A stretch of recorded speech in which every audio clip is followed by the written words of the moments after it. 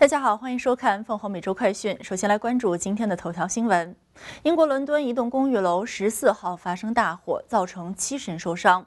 大火造成的死亡人数目前为十二人，而这一数字将有可能进一步上升。目前灭火工作仍在继续，消防员已上到顶层，并基本搜查了大部分的楼层，救出六十五人，失踪人数尚未有透露。英国首相特蕾莎梅透过发言人表示，对大火造成的人命伤亡深感悲痛。更多的新闻内容，请留意晚间播出的《凤凰每周新闻》。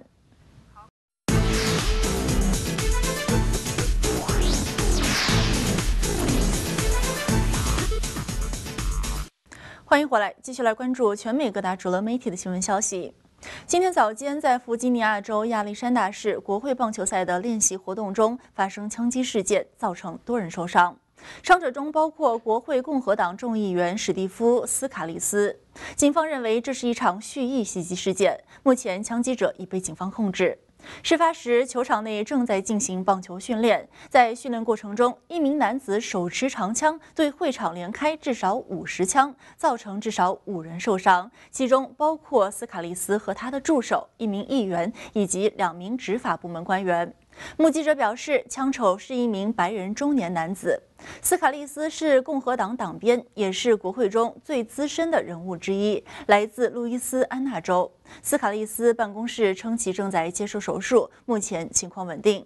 枪击案发生后，总统特朗普表示，他和副总统潘斯正密切关注枪击案的事态发展，对这场悲剧深感悲痛，为国会议员、他们的工作人员及其他受到本次事件影响的人员祈祷，同时取消了原定于周三进行的劳工部演讲。美国伊利诺伊大学厄本纳香槟分校的交流学生张颖颖，截至目前已失联超过一百个小时。美国联邦调查局已从警方接手张颖颖失联案，且已经找到她坐上的黑色车辆车牌信息。警方表示，在案件解决前将追查到底，不会放弃。校警察局已在学校网站、社交媒体等地公开张颖颖失踪前上车的录像，呼吁知情人士提供线索。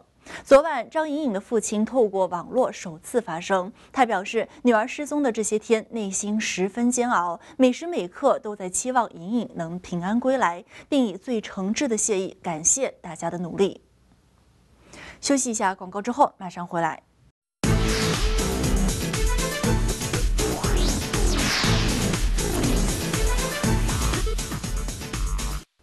欢迎回来，接下来一起来关心全美各大平面媒体的新闻消息。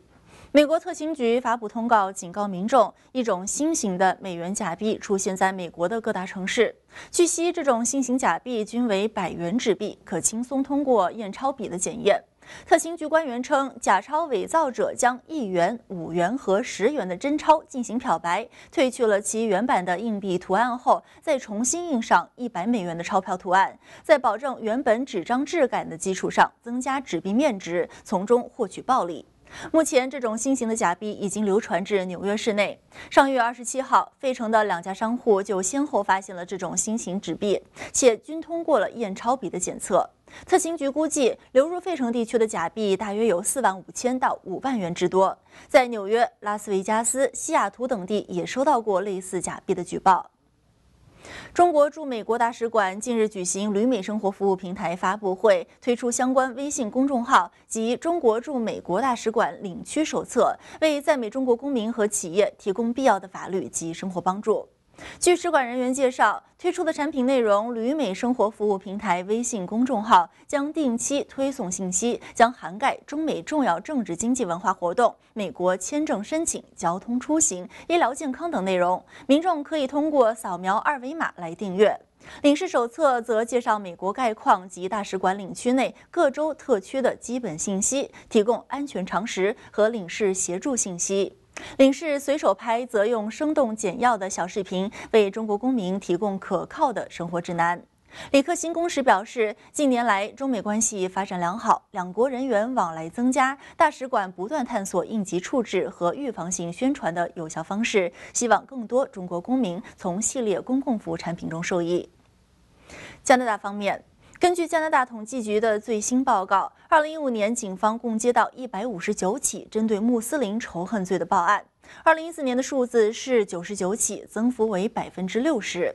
加拿大穆斯林全国理事会副主席表示，对穆斯林理事会来说，从二零一四到二零一五，加拿大针对穆斯林的仇恨犯罪明显增加，当局并不感到惊讶。统计局发现，把各类仇恨犯罪案件归纳在一起，2015年与2014年相比，加拿大的仇恨犯罪率上升了百分之五，主要是由于针对穆斯林、阿拉伯人和西亚裔的仇恨事件的增多。